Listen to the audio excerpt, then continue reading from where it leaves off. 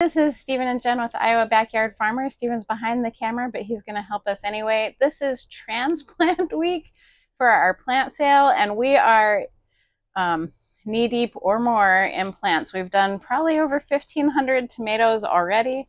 There's more to go. We have peppers behind that, um, flower baskets, everything's going this week. And so we thought we'd take a minute, but just a minute, to show you what we do when we transplant, why you need to, when you should, and how it all works.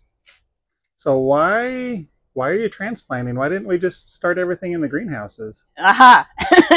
okay, so this tray holds 72 little pots, seven trays worth. And if you can see any of the greenhouse behind us, this week with our tomatoes, we've filled two and a half 30 foot long greenhouses with six foot tables on them. There is not enough space in my whole house for tomatoes. You start small because that's the lights you have. And when they get bigger, they need more space. They need more things. And so we transplant them up to give them the space they need, but we're making the best use of our resources. Yeah, so we could have done this like next week or maybe last week. Why are you doing it this week?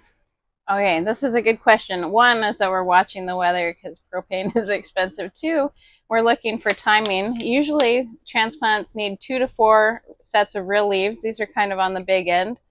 I'll show you this is one of our Tappy's Heritage. And you can see these leaves down here. These are the seed leaves, the cotyledon leaves. They don't count. Here's one set of true leaves. Here's two sets of true leaves. And just coming up in the middle, you see a third set. And if you look at the root ball, you can see that it's nice and firm and there's roots all the way around it. This is going to be really easy to transplant. If I wait very much longer, um, it could get root bound. They'll start to tangle. They'll, they're really hard to water. Even now, it's a, it's a trick to keep everything watered because you have more roots to dirt and they'll dry out faster. So we want to transplant them to keep them healthy, growing, and happy give them a little more space. Yeah, so these ones look pretty good. Sometimes we get tomatoes that are a little more stretching for the sky. We've practiced, or we've tried some different light lights this year, and some lights um, don't necessarily make them leggy, but it makes them grow really fast. And so, um, what do you do when you get stuff that's maybe a little taller than you expect? this is a good question, and I brought a sample. This isn't a tomato. This is this is a tomatillo and they grow super fast. And as you can see, they um, they're a little floppy, they're a little thin. One of my favorite things to do, let's see if I can pull one out for you. Um, and tomatillas are kind of like tomatoes, and we can do the same principle for either one. If you can zoom in real close on that, you can see those little hairs on the side of the stem tomatillas, tomatoes, peppers, eggplant, if they're a little bit leggy, bury it deep. So when I plant this one, I'm going to plant it all the way up to there. And then it's going to get a new chance. All of this down here is going to grow new roots. And I'll end up with a stronger, happier plant at the end. But if you just put this out in your garden just like this, the wind's going to catch that.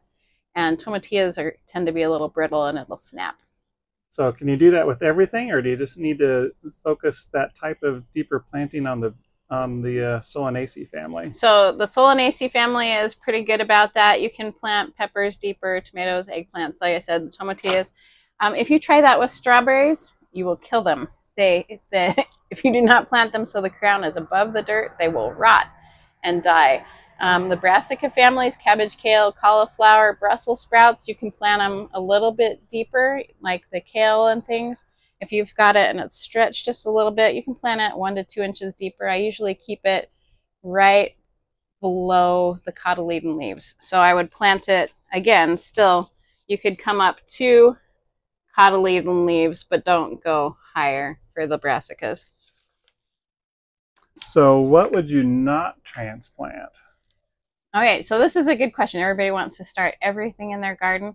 And if you have started all of your seeds um, inside, that's great. Carrots, I will tell you, are a little hard to transplant, as are radishes, rutabagas, beets. You might sense a trend. All of your root crops, um, if they've got a taproot, they're hard to transplant. That counts for trees and other things too.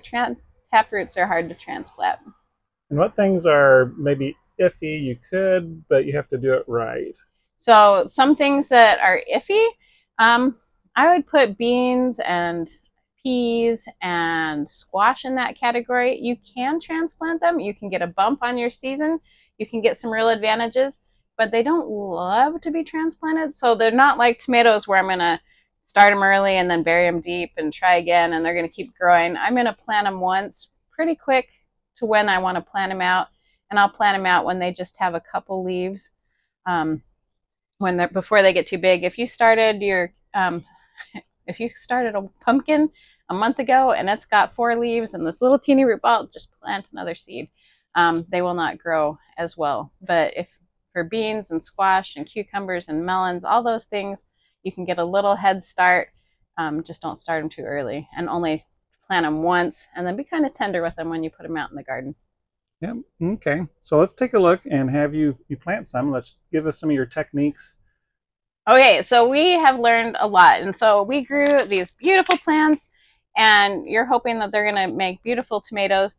Um, and right now, they're watered really well and they're really moist. If you are transplanting and you're like, well, I'll transplant it first and then I'll water it later, this is a bad plan. I, I, remember our, this is a terrible plan. Yeah, I remember our first year where we, we pulled stuff out of the plugs, we put them into dry potting mix. We put them out into the cold greenhouse, and they were the most sad. It was pathetic. we sad. thought we thought we killed them all.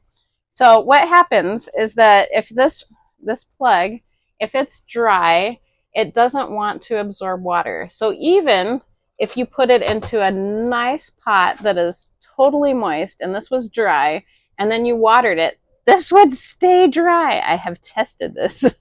it works much better if this is damp or moist and this is moist and they're about the same. And then I can plant them together.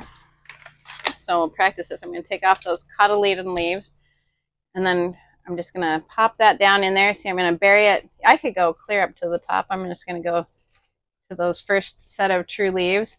We're not packing that in, but um, so it, takes a little practice to get it just right because if you if you leave it too loose and then you water the soil, well, yeah, it, will go you know halfway down the pot. But if you do it too full, then there's no there's no extra uh, you know half an inch or so that will hold the water when you do water it. Yeah, like I said, we've been we've been training the kids because we've done 1,500 of this, and um, show you a video of what not to do, right?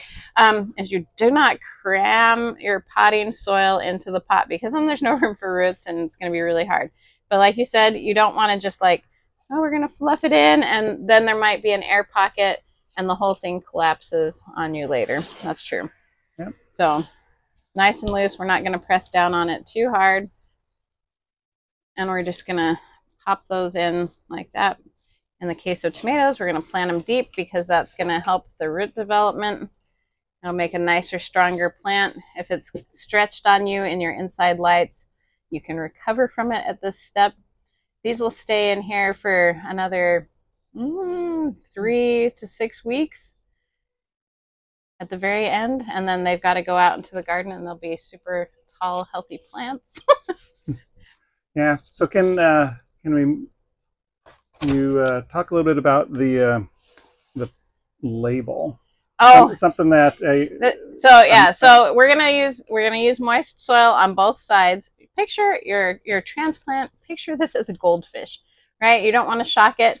So we're doing that, and then because we want to remember what it is that we've planted, we're gonna put a label on. But it's easier to do that when the pot is dry and clean and your hands are dry and clean, if you were to stop now and be like, oh yeah, I'm going to put a label on, well, it's all crummy, it's not going to stick real good. That's way harder. Just put them on before you even fill up your pots. Yep. And I'll, I'll make a note. I'm the one who's kind of detail oriented for this kind of stuff. I really like it when our, our kids do most of the, the labeling. I really appreciate it when they put the labels at the top. So when uh, they pots are put into these these in this case uh, oh, the trays? the, tr the 10 pack trays you can still read the name. If you put it halfway down you can't read the name. And if you can't read the name it's also more likely to stay wet and and, and then it'll soak off. and then it'll soak off. And yeah. so uh, just little details that makes a difference for us. Also a handy tip that we've learned that hopefully you don't have to learn the hard way is we some people are like, well, you could save time and just print these off on the printer. Um, not all things that you write with are durable in the sun. So we use a Sharpie or garden marker or something permanent because um, regular markers and pens will fade and you won't know in a month what you've planted because it'll be gone. The sun will have erased it. yep, very good. Anything else you want to cover today? Okay. Um, just one more thing is that we're not going to rip it out by the top. So I see this a lot, and you've spent a lot of time growing your beautiful tomato. You do not grab it from the top and just pull and hope. See how that's pulling the whole tray up? You could damage your stem. So kind of tip it to the side, give it a little squeeze, loosen it up, especially if it's got good roots, and let it let it slide out. So you're not um, pulling everything apart. I'll show you a more alarming one with our our basil. So we've got all our basil ready to go. And I asked Stephen if I could like sacrifice one to show you what not to do. And he was like, no, no. not the basil. But we do not just grab a clump full of basil and just and just lift it up. Do the same thing. Tip it on the side, kind of give it a little squeeze, and then pull it out. Um, you'll you'll not rip your roots or damage your stem that way. So I hope this was helpful for you. Hope you're having a great time. We're in the garden. It's just a few weeks and, and we'll be putting all this stuff outside for real. I'll talk to you later. Bye.